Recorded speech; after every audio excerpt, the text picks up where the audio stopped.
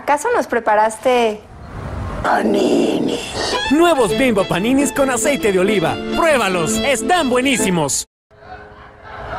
¿Acaso nos preparaste Paninis.